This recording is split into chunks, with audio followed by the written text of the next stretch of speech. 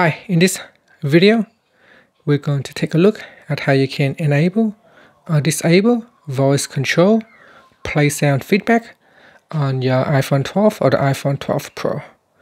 Now first let's go back to your home screen by swiping up at the bottom of the screen. Then we're going to tap on settings. In settings, go down and tap on accessibility. Then go down and tap on voice control. Next, tap on play sound and this will allow you to turn on or turn off the sound every time you use voice control. So for example, at the moment play sound is switch on, turn volume down. You can see or you can hear that it make that swish sound. So if I uh, switch it off, I can uh, perform voice control and it will not make that swish sound anymore. And that's it. Finally, you can swipe up to go back to your home screen. Thank you for watching this video. Please subscribe to my channel for more videos.